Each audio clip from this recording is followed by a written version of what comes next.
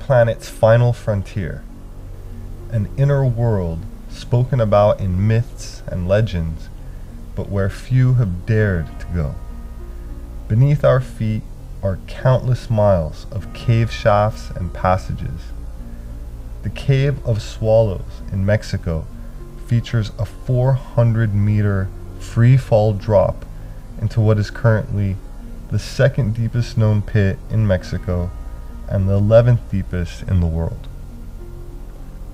The temperature in the caves are low, vegetation grows thickly at the mouth, and the floor is covered with a thick layer of bat guano on which millipedes, insects, snakes, and scorpions live.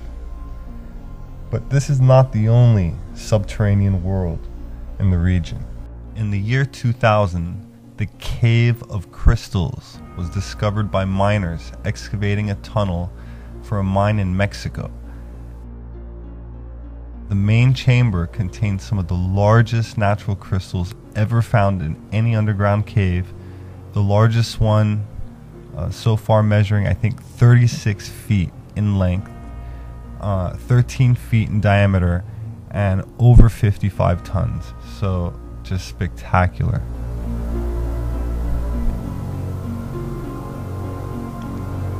These amazingly huge crystals became so large because of the extreme, extremely hot temperatures inside of the subterranean caves.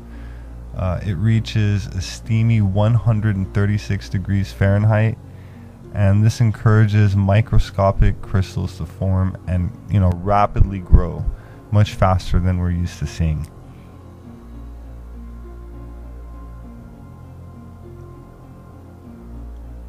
Just gazing at these gigantic, beautiful crystals, one can't help but get carried away imagining what else awaits further exploration deeper inside these caves.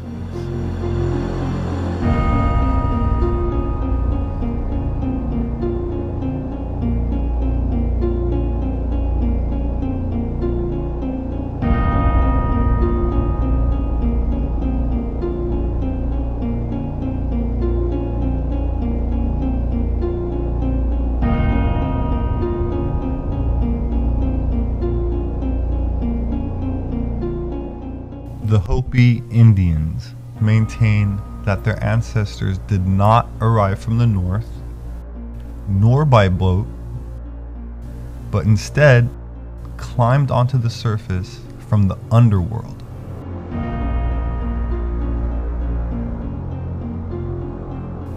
The specific place of emergence of the Hopi legend lies deep inside the Grand Canyon an enchanted opening from the mysterious recesses of the earth.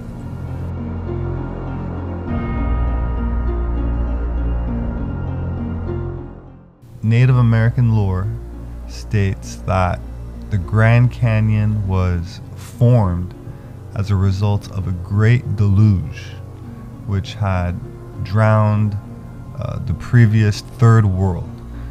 So Hopi cosmology specifies that this canyon, the Grand Canyon, was the exact place from whence the Hopi emerged from their subterranean refuge after the flood had destroyed the previous age.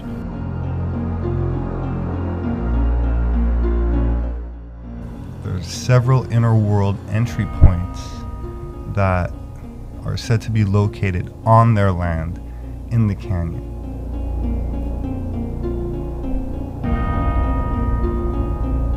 One of them is a very revered and honored in ceremony as the dwelling of an ancient parent race.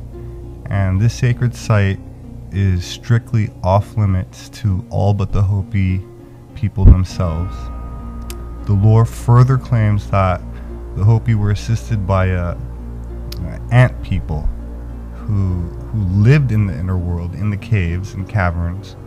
And they're described by some as being, I guess you'd say, a pale humanoids with thin limbs, slightly arched backs, and the Smithsonian Institute may have actually discovered artifacts inside some massive caverns with intricate passages, rooms, um, you know, including tables with hieroglyphics. And there was actually an article published in the Arizona Gazette on April 5th, 1909. And it states that the Grand Canyon was once home to a lost civilization that consisted of people of gigantic proportions. So, giants, basically. It also mentioned the discovery of an enormous underground citadel, and this was discovered by an explorer named G.E. Kincaid who came upon it while rafting on the Colorado River. The entrance to the city was at the end of a tunnel that allegedly stretched for almost a mile underground. So, could there still be civilizations that exist deep beneath the earth? If so, where are these entrances to these inner worlds and who lives there, which races inhabit them.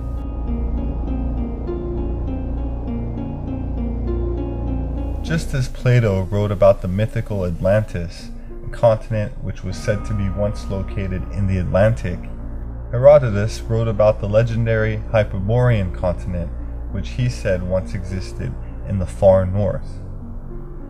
Snæfellsjökull is a 700,000 year old volcano with a glacier covering its summit in western Iceland. The mountain is one of the most famous sights of Iceland, primarily due to the Journey of the Center of the Earth, uh, written by Jules Verne in 1864, in which the protagonists find the entrance to a passage leading to the inner Earth. The main characters make their way through hazardous passages and survive the tortures of thirst to discover 88 miles down a vast sea.